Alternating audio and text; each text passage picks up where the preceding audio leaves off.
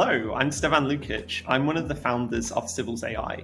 And in this video, this quick demo today, I'm going to be showing you three things. Number one is how you can extract data from your PDF, borehole logs, and site investigation reports automatically and extract it onto your own private map. Number two is how you can download BGS boreholes as AGS files and Excel files. And number three is visualization tools. So understanding how you can use some of our simplified 3D modeling and 2D section tools in order to understand your site and your project better. So let me show you how to get started with the borehole digitizer. So once you've logged into Civils AI, you can go over here to the borehole PDF digitizer from here, you can grab any borehole logs you might have, drag and drop them anywhere on the screen, and we'll extract the geological descriptions, the thicknesses, SPT count, coordinates, water level, ground level, and borehole ID. Once this is ready, uh, you can come over to the uh, data tab and you'll see your file processing here. It will take around 30 minutes for the file to process, um, and we send it for a final uh, QA check before it's available. Once it's ready, you'll be able to click this these details uh, de this details tab, and you'll be able to see the 3D viewer of your borehole, the different strata, and the descriptions over here with the thicknesses.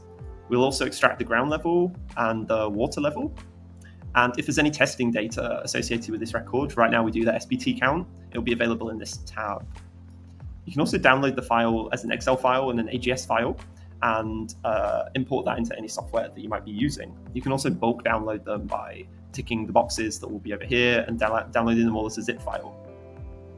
The next thing that people use this for and that we're pretty good at is collecting uh, BGS boreholes. So um, we've pre-digitized a lot of BGS boreholes as AGS files and Excel files. And the way you request to download those is by selecting this tool, request public data, and you draw an area. Once you've drawn this area, you'll download or pull those uh, boreholes into your private map space. So you can sit alongside your own private data, you can pull in the public data as well.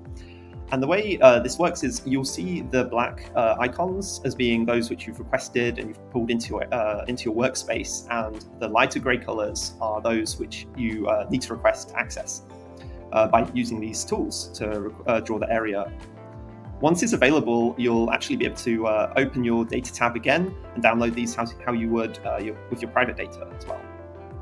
And last but not least is visualization. So if you move your map to an area where you've already uh, requested or added uh, some files onto your own private map space, you'll unlock these visualization tools. And just to show you these briefly, um, if you imagine you have the southwest borehole here, the northeast borehole, you want to know what's under the street.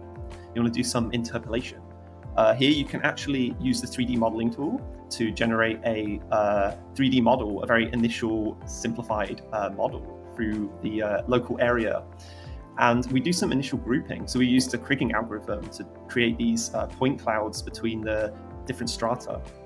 And you can update this in real time by clicking these drop downs, selecting a different material, and regrouping uh, the strata and updating this virtual borehole that will be under the road in our case. And you can also generate 2D sections through the model uh, with the 2D section generator. Uh, this is a bit of a prototype right now, but constantly uh, adding to this. Um, and the idea is, yeah, uh, a few clicks, you can generate a very rough 2D section model.